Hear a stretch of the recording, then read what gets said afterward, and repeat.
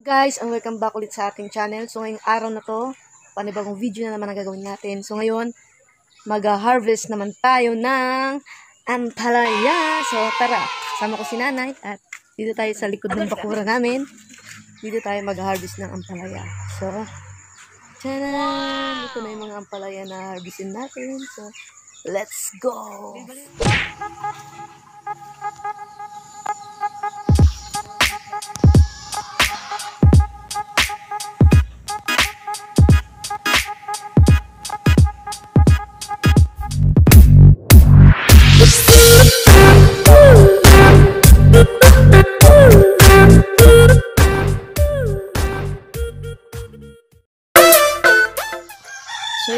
Ito na harvestin natin. So, ang purpose pala dito sa plastic na to, kung ba't nilalagyan ni nanay to, kasi hindi namin to ini-sprayhan. So, organic na organic siya. So, wala talaga kaming ni-spray kahit na ano. So, inahayaan lang namin siya. Tapos, pag mga malalaki na, mga ganito, tsaka namin din tinatanggalan ng plastic para malaya siyang lumaki ng ganito. So, ito yung mga ampalaya natin na maliliit pa lang siya. So, binabalot pa namin siya ng plastic na pangyelo para hindi siya madapuan ng mga insekto.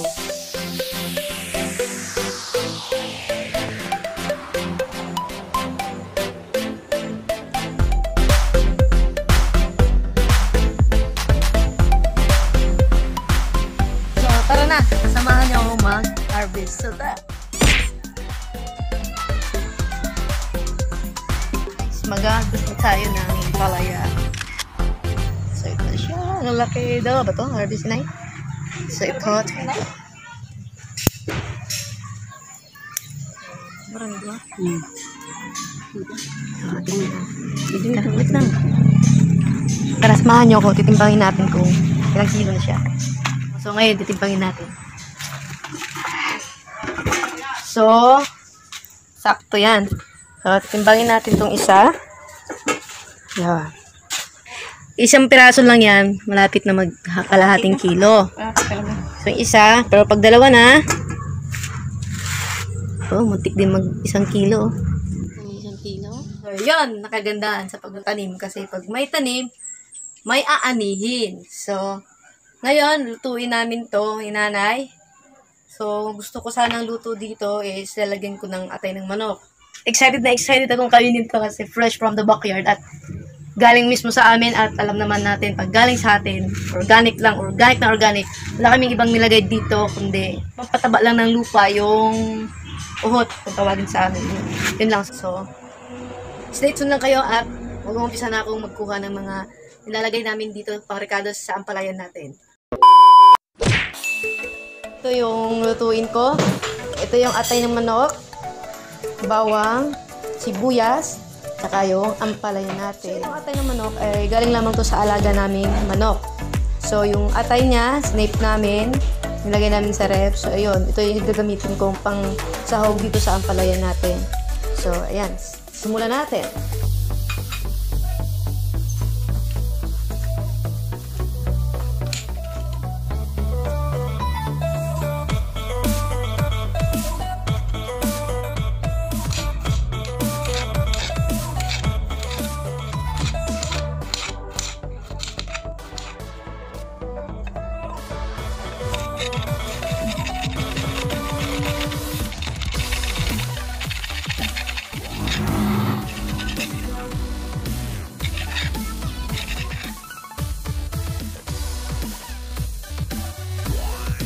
Ilalagay na natin yung mantika.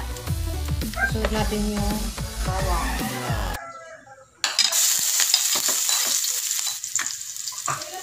Tapos, sibuyas. Ilalagay na natin yung atay ng manok.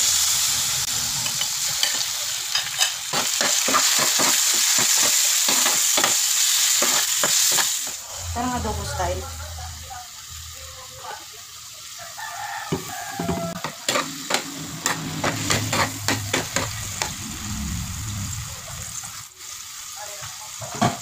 Tapos, konting tubig.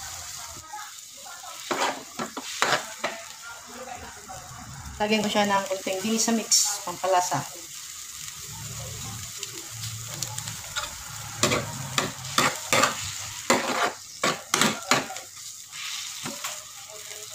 So, additional ko lang tong bell pepper na red.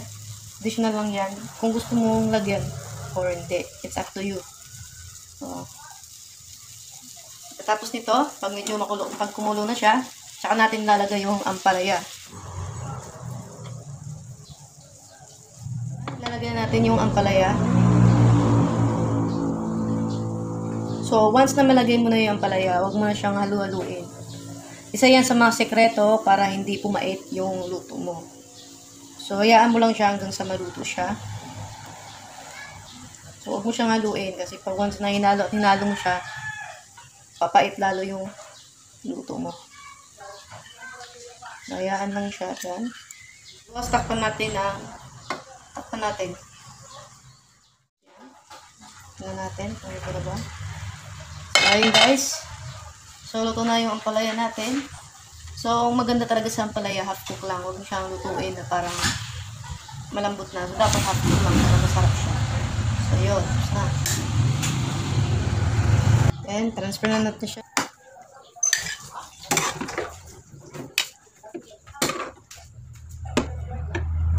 So, ayun guys. Luto na yung ampalaya with ate ng manok. So, ito na yung itsura niya. Yan. Sarap. Titikman natin yung luto natin.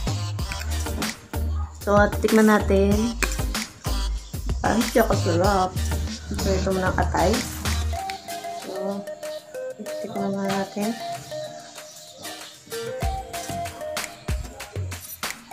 Mmm, dumat sakto luto. Wala yan.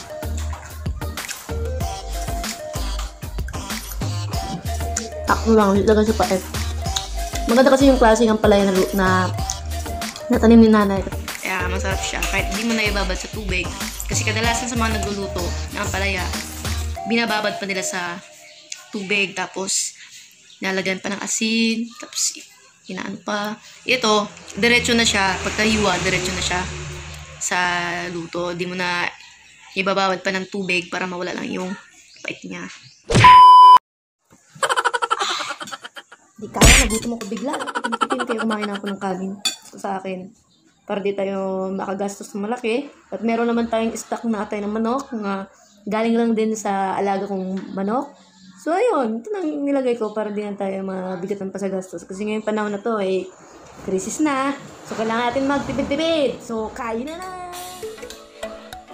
So, sa mga viewers ko ngayon, so try nyo magluto ng adobong ampalaya with atay ng manok. So, ang sarap. Yan, sabi ko sa inyo, sulit na sulit yung ampalaya.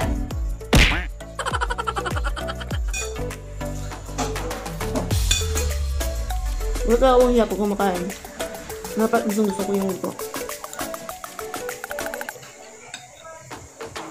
So guys, hanggang dito lang and see you in my next vlog and don't forget to subscribe. Click the notification bell. And give me a thumbs up.